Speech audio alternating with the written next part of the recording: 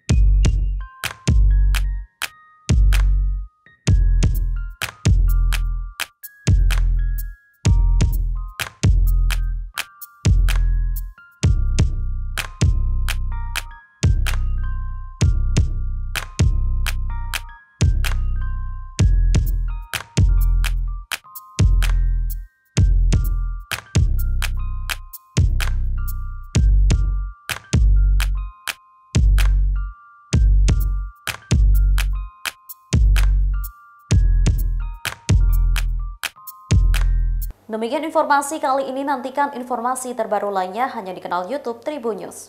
Terima kasih sudah nonton, jangan lupa like, subscribe, dan share ya!